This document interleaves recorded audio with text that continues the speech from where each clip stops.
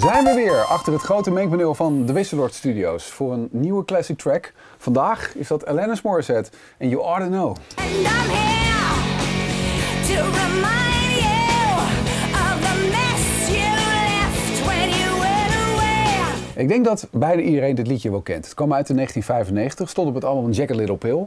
Maar het was niet het eerste werk wat ze maakte. Dat was dit liedje, Feel Your Love. Ik zal die even laten horen. Oh,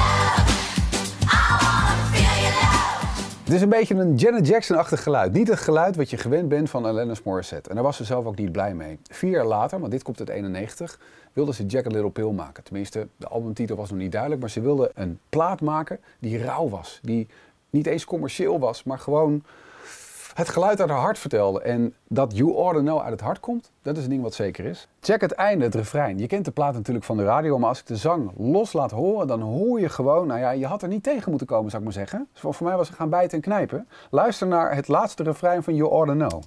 Well, I'm here to remind you Zo. of the mess you left when you klinkt echt zo rauw en heftig. En eh, de oorspronkelijke demo van het liedje, die ze hebben opgenomen in de demo-studio van Glenn Ballard, was ook niet ruig genoeg. De instrumenten klopten er niet bij. Het, had, moest heftiger, het moest rauwer.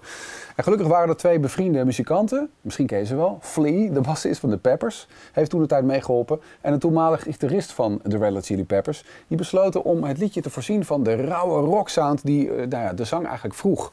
Het mooie is, ik heb dus nu de verschillende losse sporen op het mengpaneel hier staan. En ik kan de zang nog een keertje laten horen. En ik zal dan laten horen hoe het klonk toen ze de muziekinstrumenten aan het toevoegen waren. Dus de bas van, van Flea, van de Peppers, hier letterlijk. Well, I'm here to remind you of the mess you Klopt wel lekker rocky, maar zonder gitaar geen rock natuurlijk. It's not fair to deny me of the cross Maar er mist nog iets.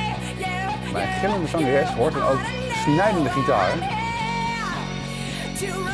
Ah, kijk, en toen begon het ergens op te lijken. Toen begon het ergens op te lijken. Natuurlijk de rauwe drums erbij, die ook de plaat maken. En dat was hij, de classic track van Alanis Morissette, You to Know. NPO Radio 2.